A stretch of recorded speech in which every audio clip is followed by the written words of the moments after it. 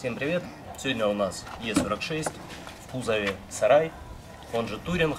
Был бы литра 3, был бы еще и Туринг, но, к сожалению, нет, поэтому мы постараемся оживить в нем э, заводские лошади методом промывки форсунок.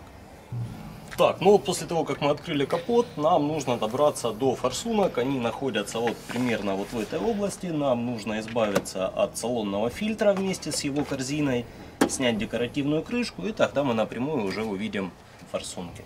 Для того, чтобы снять фильтр, тут в принципе сложностей никаких, если оно все откручивается.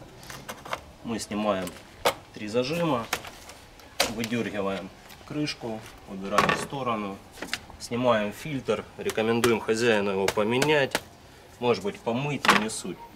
И откручиваем 4 болта в виде звездочки. Любимая BMW-шная забава, болты Ешки. Головка Т-30. И откручиваем эти ненужные болты.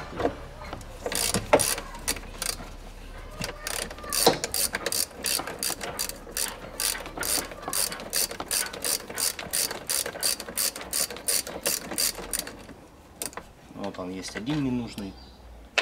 Вытянем его сразу. На трех же будет держаться?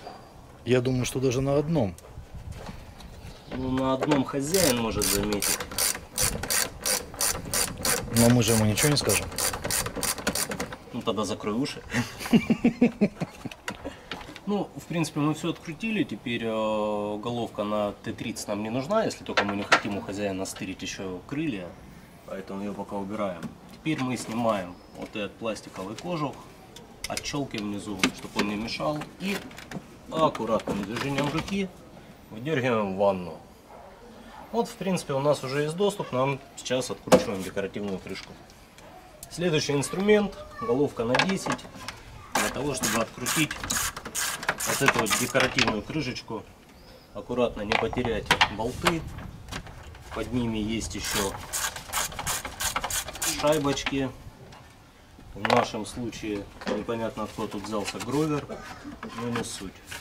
Крышку снимаем аккуратно, чтобы не сломать. Крышка фиксируется вот этими двумя усами. Здесь аналогичные пазы с резиночками, чтобы она не болталась. Сняли, собственно, вот наша топливная рампа. Сейчас мы до нее будем добираться. Теперь у нас есть топливная рампа, которая держится скобой.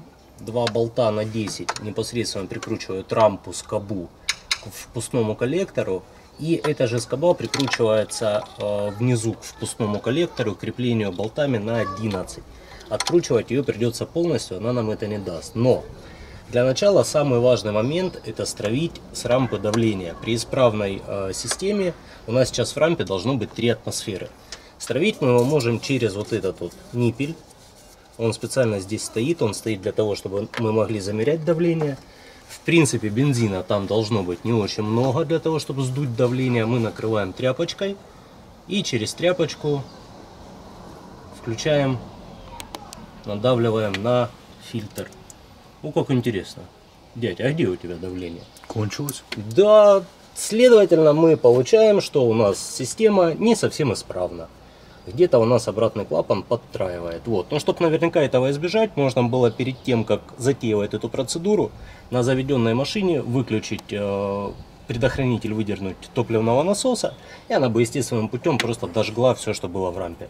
Ну вот у нас сейчас интересный момент. Откручиваем болты на 10, добираемся чуть ниже, откручиваем на 11, закручиваем, наверное, вот это обратно, чтобы не засрать. Раз.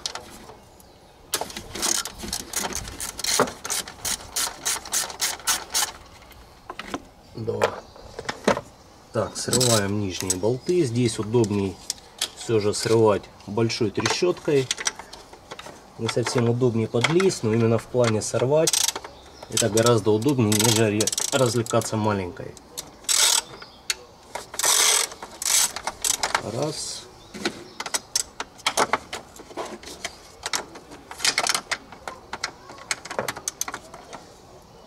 И два.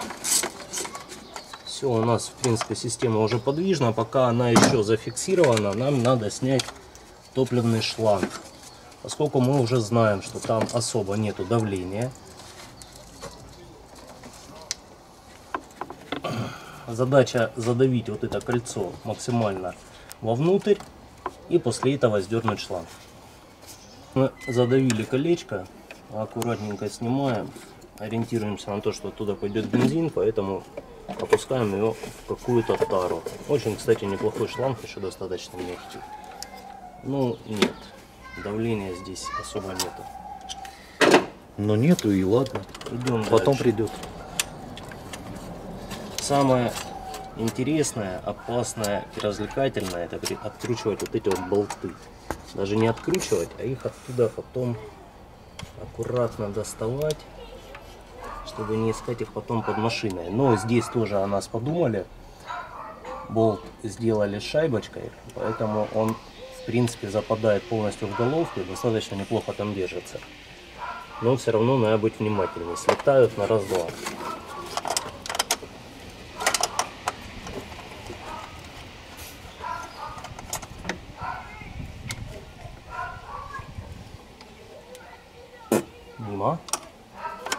Посмотри еще. Сейчас еще раз попробуем. Оп, есть. Ну, вообще в идеале или магнитная головка, или просто магнитик, он бы здесь спас. Но мы лентяи, поэтому у нас такого нету. Вот она, собственно, скоба. Можем снять гофру с проводами. И эту скобу аккуратно вытащить. Вот это вот есть та лишняя деталь, которая нам создавала проблемы. Теперь пробуем аккуратными движениями за саму рампу.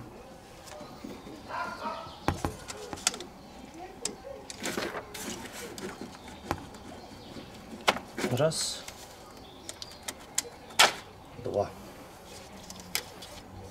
Здесь у нас можно снять вот этот вот пластик. Хотя бы он нам не мешался. Что-то у нас тут все в натяжечку. Представь себе, если бы это был 6-литр- шестицилиндровый мотор. Я думаю, там было бы это поудобнее на самом-то деле.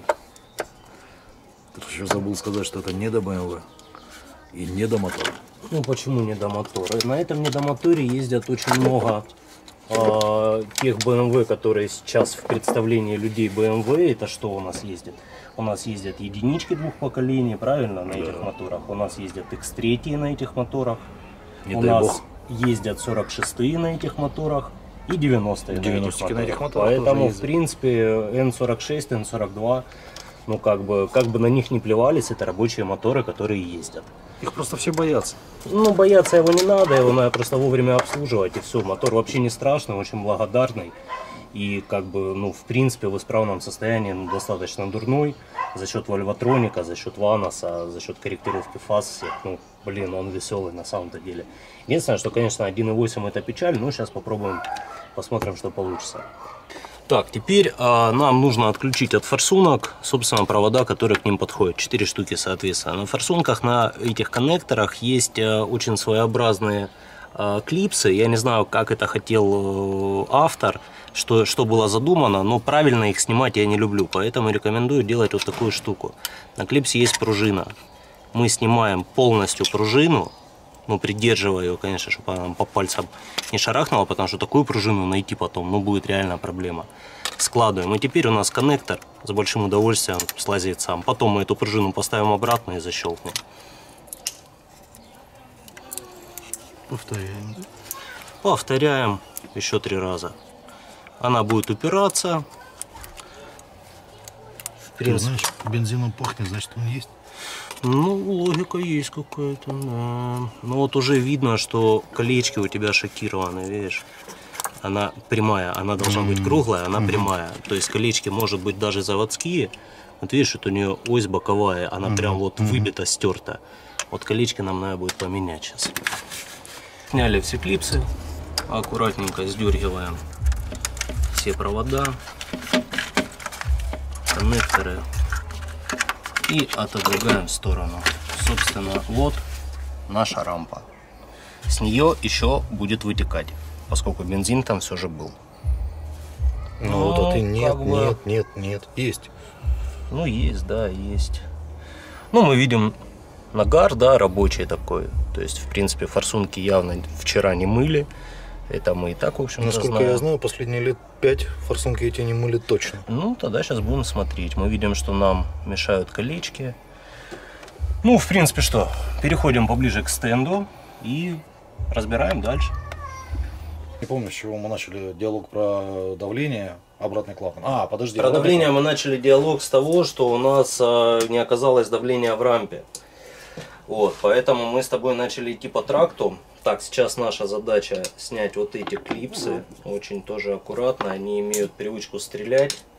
Это та клипса, которая непосредственно держит у нас форсунку к самой рампе. Аккуратно их складываем, тоже потом хрен найдем на самом деле.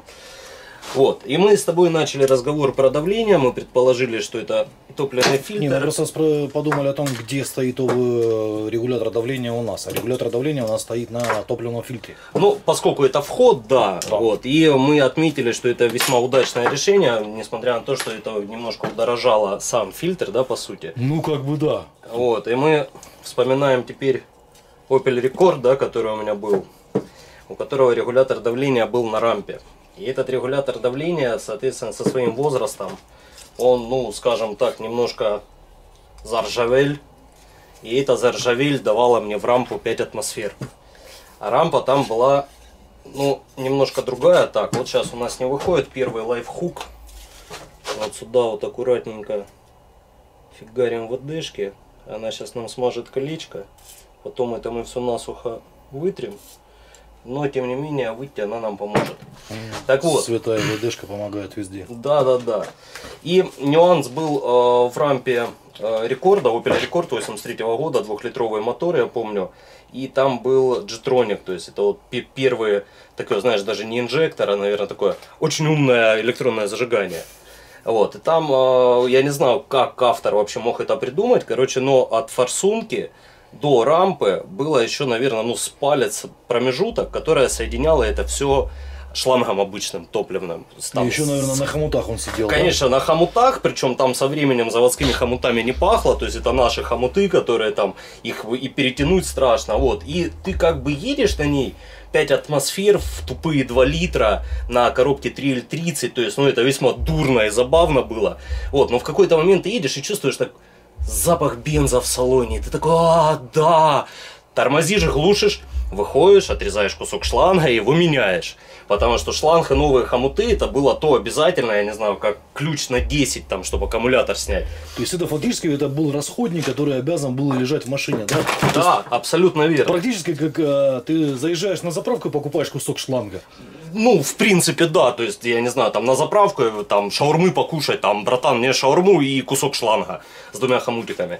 Вот, и причем, я же говорю, меня веселило то, что э, ты стоишь, ну, под капотом ковыряешься где-нибудь на обочине, а, ну, ну, бенз, там немножко парни, как правило, и люди проезжают, тормозят такие, а люди, которые, ну, в принципе, в курсе, да, этой болячки, то есть у которых, скорее всего, этот рекорд когда-то был, и они такие выходят и так сочувственно, братан, шланг есть? Ты такой, да, есть он. А, ну тогда все нормально. Вот, то есть, ну, это, это была их просто болячка. Я не думаю, что кто-то смог что-то придумать. Ну, вот, в принципе, форсунки все повылазили. Вот, но шланги рвало, вот просто представляешь, ну, вот на вот таком куске, да, его рвало по центру. То есть только э, редкие шланги, вот, которые, в принципе, вот, по виду, как сейчас на BMW, да, они э, топливные высокого давления, то есть вот в дополнительной обмотке, те еще держались. А те шланги, которые э, классика, да, там берем вот эти классические в непонятной плетенке, э, в тканевой, те просто рвало вот так вот посередине, его как разрезало ножом. Ну, вообще удовольствие такое себе. Забавное, да. Забавно. Так, мы сняли форсунки. Ну мы видим, что здесь у нас тоже, в общем-то, ну вот я не знаю, мы, мы видим, что вот это вот колечко, оно должно быть круглым, а у него бок, он уже, ну, немножко вот повторяет Давай форсунку, поближе, он ровный. подвину. Давай вот сейчас посмотрим. Угу, видно. Вот видим, да, да, что да. вот колечко, вот оно уже, ну не то. Это колечко нам опасно тем, что оно может подсасывать воздух. Поэтому эти колечки мы сейчас будем менять. И э, особенно те, которые входят э, в пустной коллектор. Здесь еще э, можно проверить, если у вас есть подозрение на то, что через это кольцо сосет воздух, э, покупаем спрей Абровский, очиститель карбюратора, всем известный, всем любимый. У меня закончился, я показал. И на заведенной машине стараемся брызгать э, в место, где форсунка входит в пустной коллектор. Прям обрызгиваем вокруг. Фишка в чем? Если она травит, она всосет этот спрей Абровский и начнет чихаться. Ну. Вот и все. Это единственный способ проверить. Ну что, подготавливаем, устанавливаем на стенд. Мы установили форсунки на наш самодельно самопальный на коленках собранный стенд, но тем не менее рабочий, утвердивший себя. Стенд подключен к компорту к компьютеру. На компьютере у нас есть программка, спасибо авторам, называется стенд промывки топливных форсунок.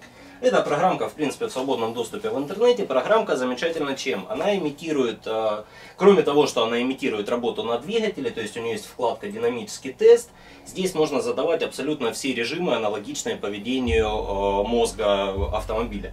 Вот. И у нее есть э, вкладка «Статический тест». В статическом тесте заложено сразу э, три основных теста для промывки. Это удержание для тестирования факела, распыла и пролива да, самого, самопрокачка и режим кавитация. Что такое самопрокачка? Ну, тут философский вопрос, лучше о нем почитать в интернете. Честно, я не разбирался, она мне не нужна. А вот удержание и кавитация это те два режима, которыми мы сейчас будем играться. Первым делом мы запустим удержание. В этом режиме а, импульс подается таким образом, что иголка форсунки все время находится в открытом, форсунка находится в открытом состоянии, через нее просто проливается жидкость. Промывочная жидкость мы, кстати, будем использовать вот такую ликвимоли, но она, в общем-то, себя зарекомендовала, несколько лет я и мыл, и результат, эффект есть. Вот, мы посмотрим а, сам факел перед началом промывки в режиме удержания. Потом погоняем его на динамическом тесте, скажем так, на 1000 оборотов, имитирующий 1000 оборотов работы двигателя. Вот, а потом посмотрим и все-таки запустим режим кавитации. Вот потом я о нем и расскажу. Вот, сейчас мы запустили тест удержания. А сейчас мы в этом тесте оцениваем сам факел. Вот я уже вижу, что э, крайняя у нас висит неровно. Первая, в общем-то, хорошо. Вот это хорошо, но видно струю отдельно. И здесь у нас распыл пошел в сторону. Но помимо того, что мы сейчас увидели факел, в этом тесте мы можем оценить производительность форсунки. Конечно, я не претендую на полторашку в роли мерного стакана, но тем не менее сейчас через 4 форсунки должно пройти одинаковое количество жидкости. Что мы сейчас можем сверить по окончанию теста через 33%. Вот, ну пока смотрим. О, кто-то кончился. А что, это воздух пошел? Не, он сейчас дольет еще. Да, но у нас вот это вот, вот эти две подстраивают. Первая, в общем-то, неплохая. Ну, Как страшно зазвучал. остановились. Так, ну сейчас оно. Выключаем мотор. Собственно, мы э, примерно кривым глазом оценили равномерность, запомнили э, распыл каждой форсунки. Теперь э, переходим к непосредственно к промывке. Поскольку э, это жижа, в которой мы моемся, она все же предназначена для аппаратов промывки без съема э, с автомобиля форсунок, то мы сейчас режимом э, вкладкой динамический тест попробуем симулировать именно ее работу. Соответственно, мы запускаем сейчас эмуляцию 1000 оборотов, ну, скажем, для начала на 5 минут. И получаем мы вот такой вот звук. Ждем. Вот, собственно, у нас пошел процесс. Процесс идет великолепно. Вот, хотелось бы сказать пару слов для любителей промывать форсунки вот так. Вот, когда они там берут абру, ну, блин, закончилась абра, берут как-то там, ее там зажимают, я, говорит, сейчас вот сюда ее засуну, вот тут нажму, а тут 12 вольт буду фигарить, там тысячу оборотов в минуту. Это просто, это лютая дикая вещь. Вот, а что я хочу сказать, что у нас представляет из себя форсунка внутри. Внутри это некий соленоид, да, на который подается электричество, и обмотка возбуждается, там, в принципе, уже физика, электричество, да, и тебе дергает иголку. Соответственно, эта вся фигня, когда работает на 12 вольтах, она реально греется. И только вот в таком режиме, в таком тесте, при давлении рабочем для форсунки, а, жидкость промывочная обеспечивает охлаждение форсунки. Поэтому у нас нет вероятности ее сжечь. В отличие от тех, кто кидает два провода на 12 вольт, и я сейчас сюда запшикал, гляньте какой распыл. Вот это, это просто, я не знаю, ребят, это смерть форсунки. Вероятность упалить обмотку, ну в нашем случае форсунки BMW, сколько они, оригинал, по-моему, по 11 рублей стоят. Вот, я смотрел, если найти именно ВДО, аналогичные заменители, да, то там по 6 можно привезти. Ну, блин, даже вот этим экспериментом... Ну да, 24 рубля как 24 бы. рубля там, да, экспериментировал, ну что делать. Вот, у нас прошло... Прошло 5 минут. 5 минут, я думаю, мы запустим еще. Потом мы сделаем паузу под давлением, чтобы оно постояло, покисло. Прогоним еще, а вот потом снимем и запустим это все дело на кавитацию. Значит, побеждает запахи, распространяемые по всему гаражу и готовят наши волшебные форсунки к чему? К промывке режимом кавитация. Ага. Короче, что за режим такой? А, есть такая теория и любители мыть форсунки в ультразвуковой ванне. Этот метод мы немножко отвергаем, поскольку мы в нем сомневаемся. Мы не очень уверены, что наши форсунки BMW-шные скажут нам спасибо за такую промывку. Вот. Для этого есть режим кавитация. На многих стендах он есть, э, именно ну, заводских, профессиональных. Короче, что в этом режиме происходит? Подается таким образом импульс, что иголка, шевелясь, выбивает жижу обратно и попутно создает э, вибрации, очень схожие с промывкой в ультразвуке. То есть у нас э, катушкой, импульсом форсунка сейчас будет мыть сама себя. Но для этого мы снимаем со стенда и нам надо подключить форсунки и погрузить их в промывочную жижу. Чем мы, собственно, и занимаемся. К этому стенд еще не очень готов.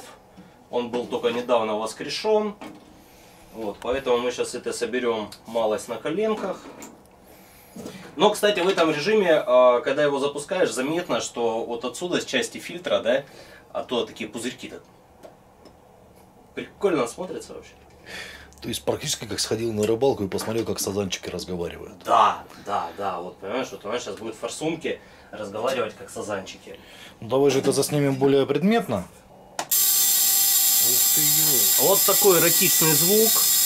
Вот мы видим, как это все вибрирует, вот там вот тут пузырики, видишь, вон пузырики, они такие там ходят, ходят, ходят. Короче, этим самым звуком мы добиваемся практически, э, практически повторения ультразвуковой ванны. То есть э, вибрациями она сейчас откисшая форсунка будет стараться сама себя отмыть. Но этим тестом мы особо баловаться не будем, мы его прогоняем 60 секунд. Потом у нас форсуночка еще немножко полежит, покиснет. Запустим его еще раз. Ну и, пожалуй, вкинем все обратно. Посмотрим на удержании, что у нас изменилось с факелом. Вот, самое главное, когда мы погружаем форсунки, то э, провода все-таки вытаскивать из жижи. Не потому, что эпанет, не должно, но все-таки замкнуть может, это токопроводящая жидкость. Вот они там жужжат, жужжат, жужжат, истерят, булькают. Прикольно. Так я часто себе отмою. Ну да. А можно форсунки тоже? Ну, это как получится, это побочный эффект будет. Вот, для чего, я думаю, нужно мыть форсунки. Как минимум, вот этот вот лак, грязь и отложения, которые у нас есть здесь, и они наверняка легко даже тряпочкой сдвинутся, они, ну, все-таки как-то, я думаю, на форсунку влияют на ее производительность, на ее пропускную способность, на, в общем-то, ее жизнерадостность, самочувствие и так далее. Также мы можем обратить внимание, что вот жидкость, которая у нас вот вышла, да, вот перед тем, как она туда зашла, она была прозрачная. Вот сейчас это, ну, конечно, не чай, видели и похуже, но тем не менее. Ну, такой она, Липтон. Липтон, да, Липтон Tea, то есть цвет она однозначно поменяла. Вот, я уверен, что наверняка найдется много народу, который будет кричать, нет, мыть форсунки не надо. Ребята, это исключительно на ваше усмотрение. На всех автомобилях не было еще, наверное, ни одного автомобиля, на котором бы э, я промыл форсунки и э, человек потом не ощутил разницы. Почему, вы скажете, форсунки не моют официальные дилеры, официальные сервисы? Тут все очень просто, потому что им дешевле вам потом, дешевле и дороже для себя, для своего кармана, вам эти форсунки поменять, через там 100 тысяч пробега, если вы до этого доездите как хозяин одного автомобиля, нежели по регламенту 20-30 тысяч вам их мыть. А э, некоторые производители именно форсунок, они регламентируют, а мы знаем, да, что Bosch, допустим, он производится наверняка в Германии, и там, скорее всего, бензин почище, да, немножко, чем у нас. Так вот, производитель форсунки Bosch э, рекомендует промывку форсуна каждые 40 тысяч. Делайте выводы. Для чего вообще эту жижу в итоге потом ты ее собираешь в банке? Ну, ты знаешь, во-первых, эта жижа очень сильно ядреная, да, ее куда-то выливать, но опасно. Вот, а в гараже мы эту жижу э, используем для э, эротических утех с нашей печкой. У нас там стоит буржуйка, у которой такой прямой выхлоп с подвала куда-то в небо. Вот. Ну и когда зимой приезжаешь, да, что-то там надо поработать, быстро печку раскочегарить, дрова сырые, ну не кайф, мы берем, вот у нее есть тут, тут мирный стаканчик, то есть ты наливаешь отработки вот этой стаканчик туда аккуратненько на дрова, так со стороны спичку, все загорелось, все по кайфу, горит, работает. Приехали мы как-то с товарищем, зимой холодно, сыро, быстро что-то надо было с машиной поработать, дрова там, я не знаю, прошлогодние, реально там с них выжимай, короче, ну печку разжечь нереально, но холодно в гараже. Я говорю, Володя, я говорю, давай, я говорю, займись а, печкой, быстренько, я говорю, там, ну, сообрази. Вот, ну, я сам стою наверху, то есть, как бы, вот так вот перед ямой, да, вот тут печка, грубо говоря, стою, что-то под капотом ковыряюсь, и в какой-то момент слышу такое бабах! И краем глаза такую вспышку света, думаю, все, приехали. Заглядываю в яму, лежит Володя вот так вот к стене прижатый, с черным лицом, в руках держит вот так вот фляжку этой отработки, такой, а, было прикольно. Короче, чувак, недолго думая, он говорит, слышь, ну я прикинул, а что такое, говорит, стаканчик, это не серьезно, он туда с флакона.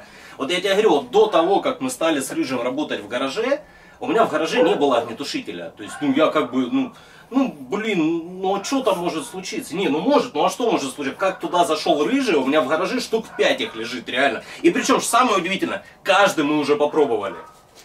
Короче, Расскажи, как их одевать, да. Да, наш разъем, то, что мы хитрожопили тут, теперь мы легким движением руки одеваем клипсу обратно. Что получаем в результате? Скобу. Получ... Скобу, да. Скобу одели обратно и щелк. Все. Воля. Обратно она уже не слезет. Да, у собаки подтверждают. Да, проделываем то же самое. Не думали, что у нас идет какой-то либо монтаж. Я покажу, что ты собираешь все обратно. Да, блин. А то мало ли скажешь, что ничего не делали. Поматериться немного, потому что я тупанул ее немножко не туда одел. Теперь ее надо продеть через провода, так чтобы это все было вкусно. Привыкай к литературному языку. Вот, вот теперь оно там, где надо. И теперь мы можем спокойно эту хрень поставить аккуратненько обратно. Как говорится, проводить сборку в обратной последовательности. Да, обратная последовательность это вот как, короче, поставить видео на обратную прокрутку, да, вот это вот есть обратная последовательность. Сейчас вот этот, как это называется? Сейчас момент мы... истины, момент истины. Да, все собрали. Накачиваем давление. Выключаем.